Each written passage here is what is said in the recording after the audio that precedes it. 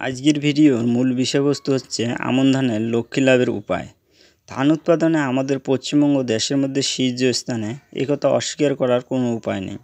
ভারতের বার্ষিক ধানের যত ফলন, তার অধিকাংশই আসে আমাদের রাজ্য থেকে।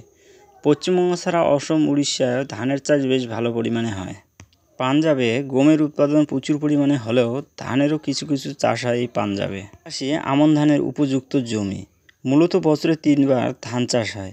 আউশ ধানের চাষ দিয়ে বছর শুরু শুরু হওয়ার পর তারপর আসে আমন ধানের এবং সবশেষে হয় রবি মরশুমে বোরো ধানের চাষ। আমন ধান এই তিন ধানের মধ্যে অধিক জনপ্রিয়। মূলত এই বিশেষ প্রজাতির ধানের চাষ বর্ষায় শুরু হয়। নিচু অথবা মোটামুটি নিচু জমিতে আমন ধানের চাষ সর্বোত্তম ভালো হয়। এঁটেল মাটি ছাড়াও দোআঁশ মাটিতেও এই চাষ ভালো হয়। আমন ধানের চাষ ক্ষারযুক্ত জমি বেছে নিয়ে করলে ফলন অধিক উত্তম হওয়ার সম্ভাবনা থাকে। অন্য কোনো লবণাক্ত মাটিতে চাষ করা না গেলেও আমন ধান সহজেই কিন্তু লবণাক্ত মাটিতে চাষ করা যায়। কাদা মাটি আমন ধানের জন্য অতি উত্তম মানের হয়। এবার আসি ধান চাষ পদ্ধতি। বর্ষা আসা মাত্রই জমিতে হালকা লাঙ্গল দিয়ে উপযুক্ত পরিমাণে জৈব সার প্রয়োগ করতে হবে। এরপর বীজ বোনার পালা। জমি কাদা থাকাকালীন আমন ধান পুঁততে আগাছা মাত্রা কম হবে।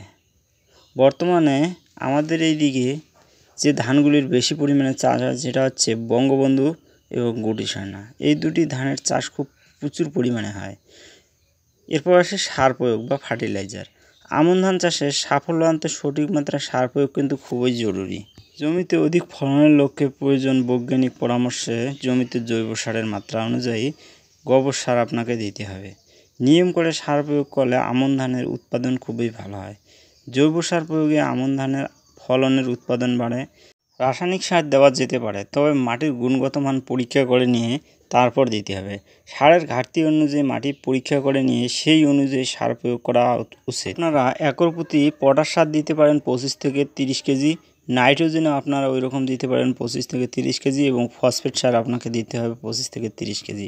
আমন ধান রোপণের এটা পনেরো থেকে ষোলো দিন বাদে এই অনুপাতে আপনাকে সারটা প্রয়োগ করতে হবে। ধানে ফসফেট ঘটিত সারের কাজ। আমন ক্ষেতে ফসফেট সারের দরকার পড়ে ধান গাছের বেড়ে ওঠার জন্য, দানা পুষ্টর জন্য, শিকড়ের কার্যকারিতা বাড়ানোর জন্য। সুপার ফসফেট এই ক্ষেত্রে খুবই ভালো। একটি ফসফেট গঠিত সার। ফসফেট সার ফসলে একদম অন্তিম সময়ে প্রয়োগ করা উচিত। এরপর আসি নাইট্রোজেন। আমন ধানে শীষ আসার কয়েক সপ্তাহ আগে নাইট্রোজেন সার প্রয়োগ করলে উৎপাদন বৃদ্ধি পায়। নাইট্রোজেন প্রয়োগে শীষ উন্নত হয়, সাথে সাথে শীষের দানা বেশি পরিমাণে পাওয়া যায়। ইউরিয়া অথবা অ্যামোনিয়াম ফসফেট নাইট্রোজেন হিসেবে প্রয়োগ করতে হবে। সব থেকে ভালো হয় যদি ইউরিয়া আপনারা সঠিক সময়ে সঠিক মাত্রায় প্রয়োগ করতে পারেন। এবার হচ্ছে সময় বা টাইম অফ কাল্টিভেশন ঘন ঘর বর্ষাকাল, অর্থাৎ আষাঢ় শ্রাবণ মাসে আমন ধানের চারা রোপণ করা সব থেকে ভালো। মনে রাখতে হবে, আমন ধানের চারা দুই ইঞ্চির বেশি যেন রোপণ কাজ না হয়। হচ্ছে সেচ ব্যবস্থা। উন্নত ফলনের লক্ষ্যে চাষের সেচ প্রধান একটি গুরুত্বপূর্ণ বিষয়। ধান গাছে ফুল আগমন বা দানা গঠিত হওয়ার সময় খেতে পর্যাপ্ত জল থাকা একান্ত প্রয়োজন। এবার হচ্ছে ফসল কাটা। সঠিক সময়ে ফসল কেটে নিতে হবে।